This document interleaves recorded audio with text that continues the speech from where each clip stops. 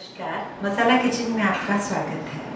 आज हम बना रहे हैं बच्चों के लिए खास तौर से हेल्दी और बहुत ज़्यादा टेस्टी टेस्ट का तो इतना मतलब मेरे पास वर्ड्स नहीं है, बहुत ही ज़्यादा टेस्टी बनेगा ये केक जो हम बनाएँगे गेहूँ के साथ। और हम तो वैसे मैं तो अक्सर बनाती हूँ इसको पूरा ही बिना चीनी के गुड़ के साथ। पर अगर आप चाहें तो आधा गुड़, आधी चीनी डाल सकते हैं और घर के इंग्रेडिएंट से बनेगा बहुत ही टेस्टी बहुत ही हेल्दी आप बिल्कुल बच्चों के टिफ़िन में डाल सकते हैं, कभी भी एनी टाइम टी टाइम के के दे सकते हैं बच्चों। गेहूँ के आटे से हम केक बनाएँगे। तो हमने लिया है आधा लीटर दूध। चाहे तो आप कच्चा लें या आपके पास ऑलरेडी पहले से उबला हुआ दूध पड़ा है तो वो भी आप ले सकते हैं। बस इसका मेज़रमेंट जो है, खास आप ध्यान रखें, जिससे आप नाप लेते हैं, ये आधा लीटर 500 ग्राम दूध है। और फुल क्रीम दूध है तो बहुत अच्छी बात है। इसको तो हम रख देते हैं उबलने के लिए। दूध को हम इतना उबालेंगे कि ये आधा हो जाए दूध क्वान्टिटी में। उसके लिए मुझे चाहिए 100 ग्राम हमने गेहूँ का आटा लिया है। और इसे पूरा अच्छे से आप छान लीजिए। जैसे गेहूँ के आटे की जो छन्नी होती है, उसमें छानना ना भूलें, इस, ये बहुत ज़रूरी है। और मैंने लिया है 50 ग्राम अमूल बटर। आप चाहें तो आधा इसका बटर डालें, आधा रिफाइंड ऑयल डाल सकते हैं, पर अमूल बटर डालेंगे तो उसका टेस्ट बहुत अच्छा रहेगा। अब हमारे पास है मीठा करने के लिए गुड़ और चीनी। अगर आपके यहाँ गुड़ बच्चे बहुत अच्छे से पसंद कर लेते हैं तो आप पूरा 100 ग्राम आप इसमें गुड़ डाल दीजिए। और यदि 100 ग्राम से बल्कि थोड़ा ज़्यादा भी डाल सकते हैं, क्योंकि गुड़ थोड़ा कम मीठा होता है। तो इसे आप डाल दें गुड़ और इसे बारीक काट लें। अगर आप गुड़ बच्चे कम पसंद करते हैं तो हमें डालना तो है गुड़, क्योंकि इससे टेस्ट बहुत अच्छा आएगा। तो आधी हमने चीनी ली है आधा गुड़। मैंने 50 ग्राम करीब गुड़ लिया है 50 ग्राम मैंने चीनी ले ली है। साबुत चीनी ली है, पिसी हुई नहीं है।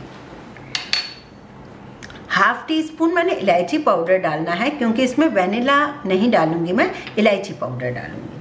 थोड़ी सी चेरीज कलरफुल जो चेरीज होती हैं, बच्चों को पसंद आती हैं, ये डाल दी है, और अगर आप चाहें तो ड्राई फ्रूट्स की कतरन डाल दें। वन टीस्पून हम डालेंगे बेकिंग पाउडर मेज़रमेंट का थोड़ा सा ख्याल रखें, क्योंकि बेकिंग जो होती है, वो मेज़रमेंट से ही बनाई जाती है, क्योंकि आप नॉर्मल जो घर में खाना बनाते हैं, उसमें कम ज़्यादा अपने हिसाब से कर सकते हैं, जैसा आप खाते हैं। लेकिन जो बेकिंग करते हैं, उसमें हमें कुछ चीज़ों का ज़रूर ध्यान रखना होता है। एक तो ये कि जो मेरे कई व्यूअर्स हैं, जो बार बार यही क्वेश्चन है, उनके मन में कि जो हमने पेटीज बनाई है, उसमें पतेले में आपने नीचे पानी डाला है। आप पानी डालोगे नीचे तो कभी भी आप सोच भी नहीं सकते वो पानी ऊपर आएगा उबल उबल के और आपकी बेकिंग कैसे हो पाएगी। और फिर वो ब्राउनिंग भी नहीं होगी। नीचे हमने नमक रखा है। हो सकता है उस वीडियो में मैं आपको बताना भूल गई हूँ, पर इसके लिए मैं आज आपको बताऊँगी, कुकर में रखो या पतेले में बना रहे हो तो नीचे आपको नमक रखना है। नमक आप रीयूज भी कर सकते हो, दो से तीन बार, चार बार। और जो है टिन जो भी होता है हमारे पास, बेकिंग टिन, उसको हमें पहले से ही ग्रीस करके इस तरीके से पेपर लगाना होता है। ये देखिए मैंने कैसे लगाया। अगर आप गोल लगाते हैं तो तो बहुत इजी होता है। अगर आप कोई शेप वाला बना रहे हैं तो आपको क्या करना होगा, ये देखिए।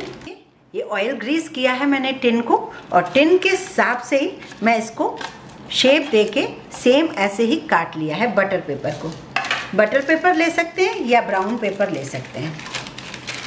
इस तरीके से आपने एक लंबी शीट काटी है पतली और उसको इस तरीके से मैंने सेट कर दिया।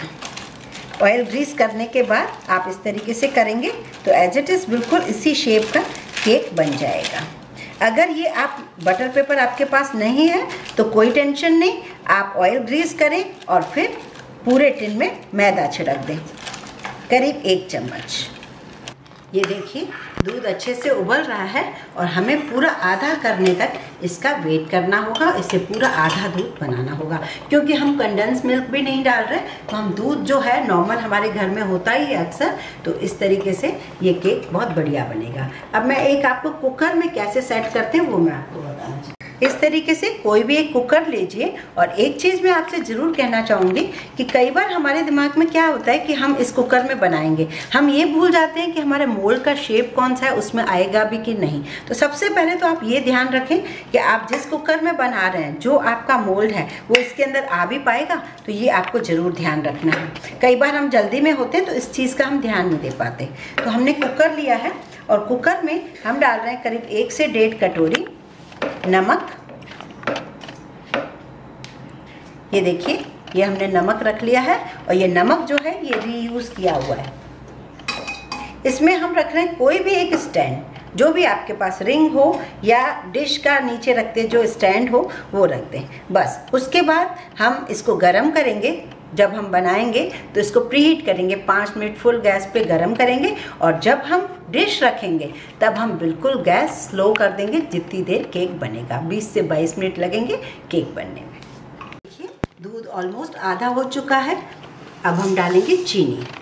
चीनी डालकर इसे एक आध मिनट के लिए और पकाएँगे, जिससे चीनी घुल के मिक्स हो जाए। चीनी बिल्कुल मिक्स हो चुकी है। अब इसमें डालेंगे हम गुड़। गुड़ आप गैस पर ना डालें, अभी डालें। गुड़ डालने से इस केक का कलर भी बहुत अच्छा हो जाएगा। और चाहें तो आप इसमें वन टीस्पून कोको पाउडर भी अगर डालेंगे तो बिल्कुल चॉकलेट केक बन जाएगा। अब हमने डाल दिया इसमें बटर।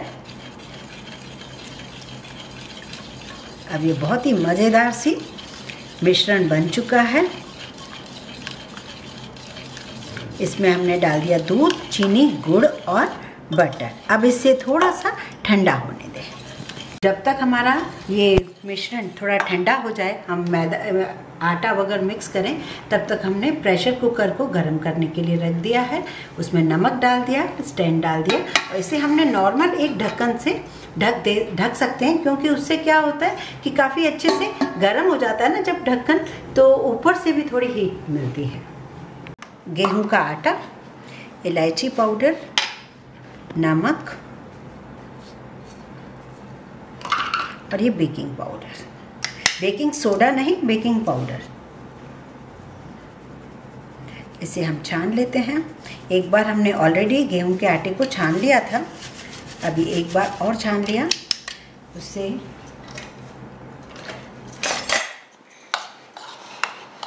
अब हमें इसमें धीरे धीरे करके ये मिश्रण डालना है और इसे मिक्स करना है।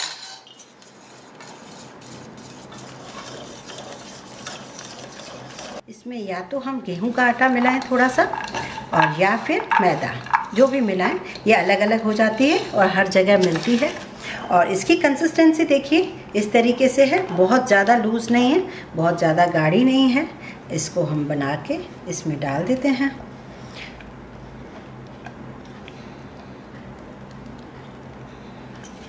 इन कर रहे हो और बाय चांस आपसे दूध थोड़ा सा ज़्यादा गाढ़ा हो गया हो, क्योंकि आप ये सब अंदाजे से ही कर रहे हो इसको आधा तो आप एक्स्ट्रा ऊपर से थोड़ा दूध डाल सकते हैं। इस तरीके से थोड़ी सी कलरफुल चेरी डाल दीजिए। अब इस केक टिन को आप इस स्टैंड पर रख दीजिए और गैस बिल्कुल ही स्लो कर देंगे। और इसका ढक्कन इस तरीके से लगा देंगे कम से कम 20 से 22 मिनट लगेंगे बनने के लिए। हम 15-17 मिनट बाद इसे चेक कर सकते हैं। ये देखिए केक अपने हिसाब से बहुत बढ़िया फूल गया है। उसका कलर भी बहुत सुंदर आया पर अभी इसे इसमें टाइम लगेगा। अभी सिर्फ़ 15 मिनट ही हुए केक को चेक कर सकते हैं। ये बिल्कुल क्लीन निकला है। बस केक हमारा रेडी है। गैस बंद कर देते हैं। और आटे और गुड़ से बनाया हुआ ये हेल्दी सा केक हमारा तैयार है।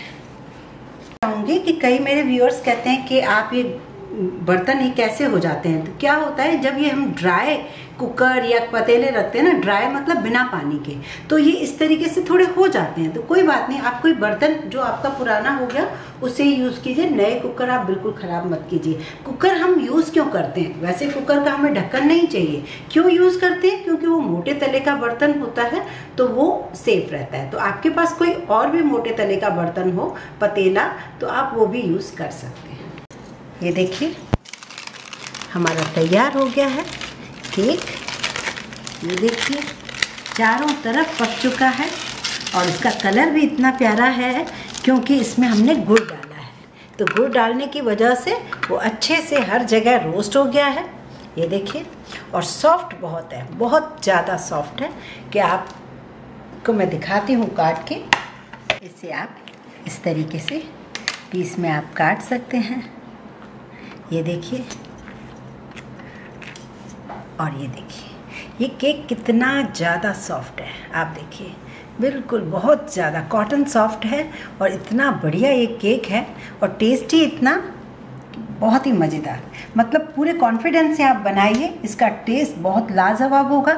जो भी खाएगा, आपसे पूछेगा कि इसमें क्या डाला है, इसका फ्लेवर किस चीज़ का है। क्योंकि जो गुड़ या हनी हम डालते हैं ना केक में तो एक उसका नेचुरल फ्लेवर आता है।